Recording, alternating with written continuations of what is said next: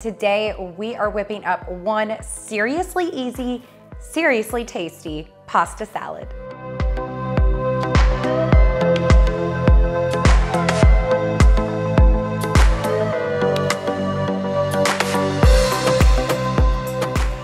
This is bow tie pasta salad and it has a little bit of Italian flair and a whole lot of flavor. So before we actually throw everything together, let's talk about what goes in it. So bow tie pasta is also called farfalle pasta.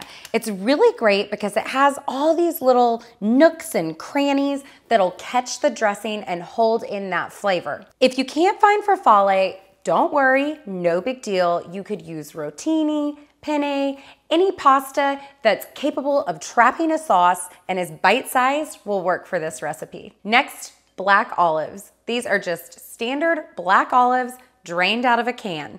If you wanna get fancy with your olives, you could totally throw in some Kalamata. Just know that that olive flavor is gonna be much stronger with a Kalamata than just a standard black olive. Next, some cherry or grape tomatoes. I have a mix of both in here. I really like using cherry or grape tomatoes in pasta salads because they hold up better and they don't get mushy and pulpy like a regular diced tomato would. Of course, you cannot have Italian bow tie pasta salad without an Italian dressing. I just have this creamy Italian dressing Olive Garden is my go-to brand. Once they started selling it at the grocery store, I never looked back at any other Italian dressings ever. We're gonna add a pop of freshness to this pasta salad with a little bit of fresh basil. And last but not least, one of my favorite ingredients, mozzarella cheese. I have already cooked my farfalle pasta according to package directions in a heavily salted pot of boiling water.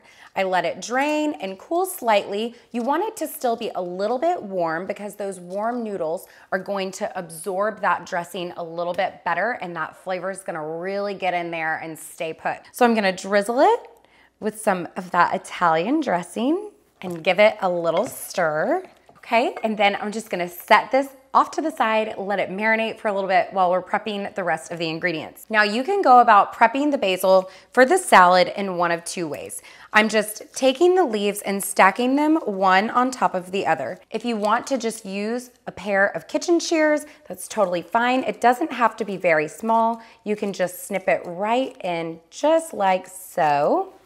Or you can roll it up, take a knife, and cut it into strips. I'm just layering one more stack of basil leaves. And if you'll notice, I'm gonna keep some here off to the side so that we can use that for garnish. And then we'll give it just one more run through with a knife. Perfect, into the bowl. Now, as far as the black olives go, if you want them in smaller pieces, you can chop them up. I'm gonna go ahead and just dump them right in. Now, for these little grape and cherry tomatoes, I'm actually going to call upon my serrated paring knife. Nothing cuts a tomato better than a serrated knife. So I'm just cutting them in half and then throwing them right in the bowl. Okay, now on to my favorite of all the ingredients, as I mentioned before, the mozzarella cheese. What we're gonna do is we're gonna cut the cheese into cubes, just little bite-sized cubes. What happens is the cheese absorbs all of that vinegary flavor and it adds this delicious acidic bite to the cheese and it is to die for. We'll finish it off with the rest of that Italian dressing. Just pour it right over, give it a stir. You wanna finish it off with a little bit of salt and of course, a pinch of pepper. Now you wanna let this marinate in the fridge for at least a few hours. Better if you can let it marinate overnight. That's when that mozzarella cheese is really going to start taking in all that yummy flavor. And then once it's good and chilled and marinated, it's time to serve. The pasta salad is good and marinated. Just gonna add it to the serving bowl. And remember how we reserved that basil. Just gonna set this off to the side, grab a few leaves here, roll them up, give them a good chop.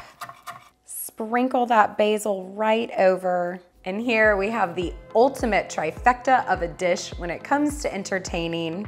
Beautiful, easy, and delicious. Let's see how we did. Get a taste. You know I'm going for that cheese in there.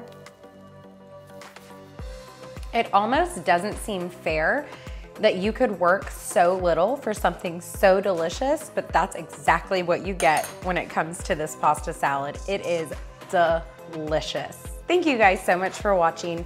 Remember, if you like this video, give us a thumbs up and don't forget to subscribe to our YouTube channel, The Anthony Kitchen, and to theanthonykitchen.com, where this recipe and so many others live. Thanks for watching, and I'll catch you next time.